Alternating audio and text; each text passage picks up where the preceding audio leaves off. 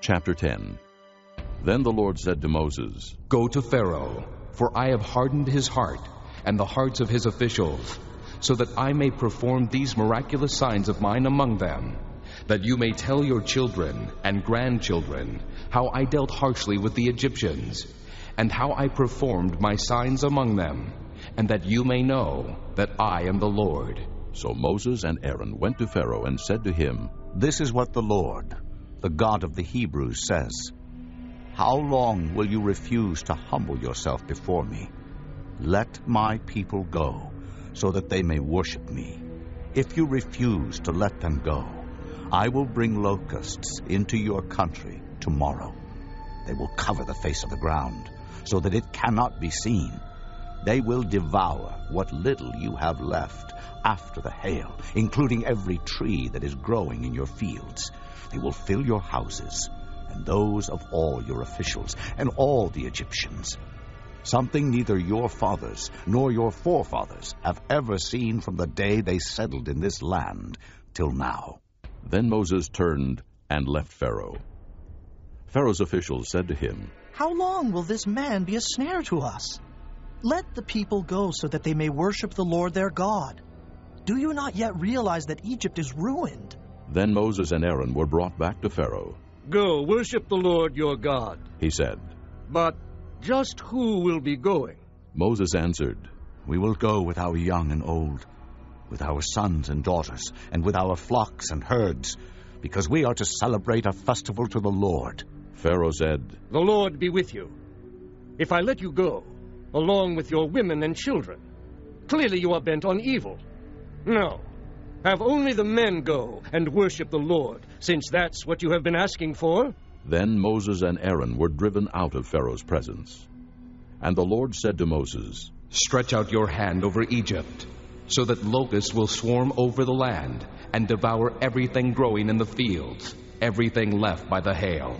So Moses stretched out his staff over Egypt, and the Lord made an east wind blow across the land all that day and all that night. By morning the wind had brought the locusts. They invaded all Egypt and settled down in every area of the country in great numbers.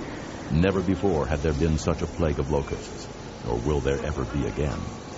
They covered all the ground until it was black. They devoured all that was left after the hail, everything growing in the fields and the fruit on the trees. Nothing green remained on tree or plant in all the land of Egypt.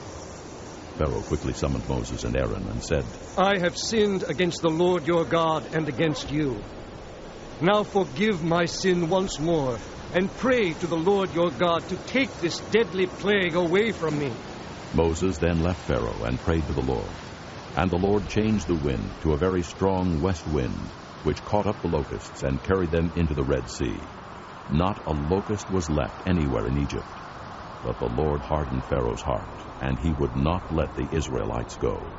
Then the Lord said to Moses, Stretch out your hand toward the sky, so that darkness will spread over Egypt, darkness that can be felt. So Moses stretched out his hand toward the sky, and total darkness covered all Egypt for three days. No one could see anyone else or leave his place for three days. Yet all the Israelites had light in the places where they lived. Then Pharaoh summoned Moses and said, Go, worship the Lord. Even your women and children may go with you.